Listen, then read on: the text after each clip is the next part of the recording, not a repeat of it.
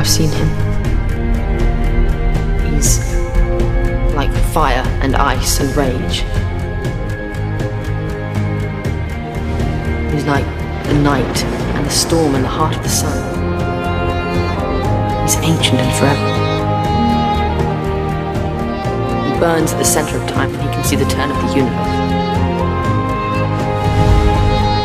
And he's wonderful.